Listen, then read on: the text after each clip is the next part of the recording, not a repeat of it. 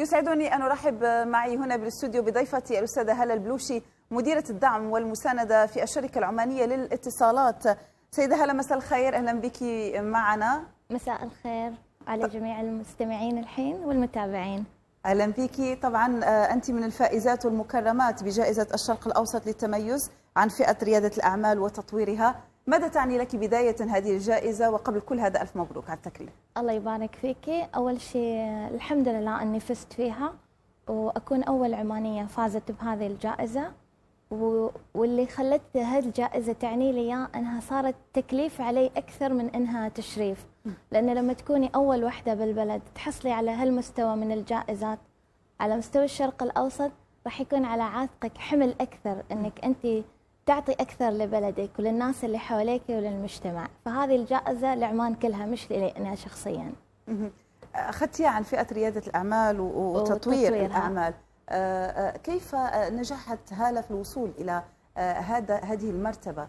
إلى يعني مرتبة قيادية في ريادة الأعمال. والله أنا بديت من عمري صغير يعني كان عمري 24 سنة. ب 2006 بديت. أول شيء كنت أعمل بالشركة العمانية للاتصالات كموظفة وبديت بعدين تجارتي الخاصة من تصميم الأزياء بعدين وسعتها للفعاليات بعدين فيها فعاليات نقدمها للمجتمع وتطويرهم من ناحية تعليمية. ولحد على هذه السنوات كلها وصلت لمنصب قيادي بالشركة بعد. فالحمد لله قدرت أنجز على الصعيد المهني وبنفس الشيء على الصعيد تجارتي الخاصة.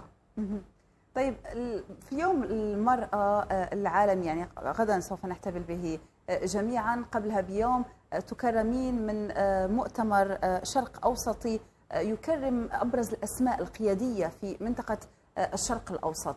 ماذا يمثل لك ذلك فيما يخص يعني هذا اليوم العالمي يومك كيوم مرأة ومتزامن مع هذا التكريم؟ والصراحة فخر كثير يعني وكثير فرحت. يمكن صار لي أسبوع أنا أنتظر فرز الأسماء. يعني الموضوع مش إنه كان طبيعي ومرتاحة.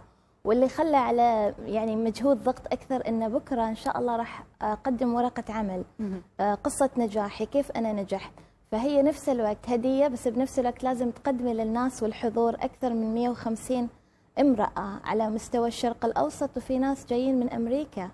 فهذول كلهم جايين عشان يسمعوكي. فأنت مضطرة تقدمي لهم كل العقبات والصعوبات بالنهاية اللي لمسة النجاح اللي حصدتيها من كل التجارب اللي مريتي فيها. طيب شاركينا بنبذة عنها صغيرة يعني العقبات اللي واجهتك كيف وصلتي؟ يعني ما يعني التحديات اللي تحديتيها كلها لو وصلتي لهالمرحلة أول إنجاز أن ما هي سهلة أنك تنجحي بعملك وبتجارتك وأنت أم.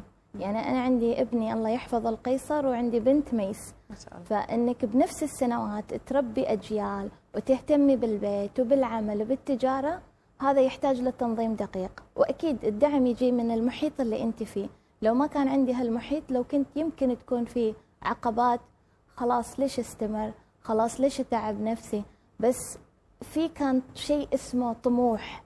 حتى زوجي يقول لي دائما ليش تتعبي نفسك؟ ليش كل هذا؟ قلت له فيني طموح يعني لحد اليوم وبعد هالجائزة أحس إنه لا لسه لازم أعطي. لازم ما أنام كثير لازم أهتم في كل شيء حوالي لازم أكون كل شيء perfect يعني حتى مثلا على مستوى الفعاليات والعمل ما أحب إن أنجز بس خلاص أنجزت. لا لازم يكون لحد الامتياز إنه يكون في perfection يعني إذا أقل من كذا لا مش هالة. يعني ما أحط شيء باسمي إلا لما يكون لأعلى القمة. المرأة الخليجية أثبتت نفسها بشكل كبير خاصة خلال السنوات الأخيرة. يعني المرأة السعودية المرأة الإماراتية المرأة العمانية ما شاء الله أنت مثال الآن وتمثلين عمان يعني سلطنة عمان ككل. يعني دور الخليجي والحكومي في دعم هذه المرأة إلى أي مدى هو الذي جعلها تبرز وتبرز نفسها بشكل أكبر؟ والله أنا أحس لسه يعني لو مو مساندة الرجل إحنا ما نجحنا. يعني في كثير يقولوا لك لا الرجل الشرقي هو العقبة لا. الرجل صار يساعدنا بالبيت لما إحنا نكون مسافرين الرجل وننجح. أيوه. الرجل صار مسؤول عنا بالدوام ويرشحنا عشان نحضر هذه المؤتمرات. يعني الرجل صار له دور بعد إن إحنا نبني نفسنا لأنه فتحوا لنا المجال. وصاروا خلاص ند لند يعني جالسين جنب بعض بنفس الاجتماعات على مستوى الدولة من وزير من وكيل على يعني كثير. يعني ما صارت أول كان فكرهم إن العباية راح تكون عائق الشيلة راح تكون عائق. لا الحين نشوف آه، كابتن طيارات بنات نساء عمانيات نشوف أطباء ويداوموا night shift وصار عادي. معناته المجتمع صار متقبل إنه يشوف المرأة بأي مكان. طيب الدور الدعم الحكومة الحكومات الخليجية الحكومة إلى اي مدى دعمتكم يعني أنا؟ الصراحة يعني لاحظت والله يحفظ لنا السلطان قابوس خصص لنا يوم خاص للمرأة العمانية نحتفل به سنويا.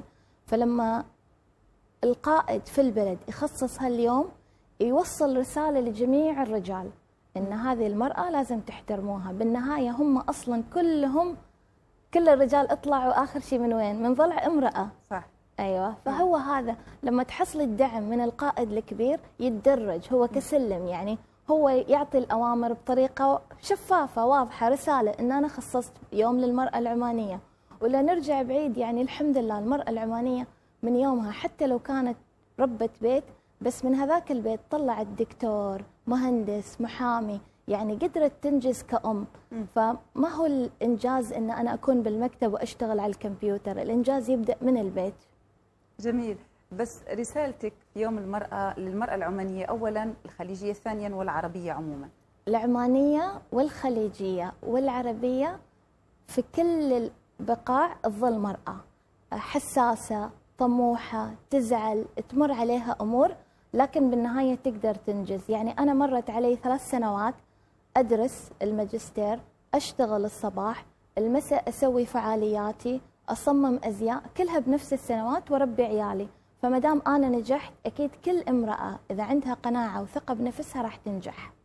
شكرا لك. العفو ونبارك. لك هذا التكريم وكل سنة وأنت طيبة بمناسبه اليوم المرأة. الله العالمي. يبارك فيكي وكل سنة وأنتم طيبين وكل النساء اللي يتابعونا. شكرا لك. شكرا هلا البلوشي. آه، مديرة الدعم والمساندة في الشركة العمانية للاتصالات شكرا لقدومك للاستوديو وهذه الاستضافة. العفو.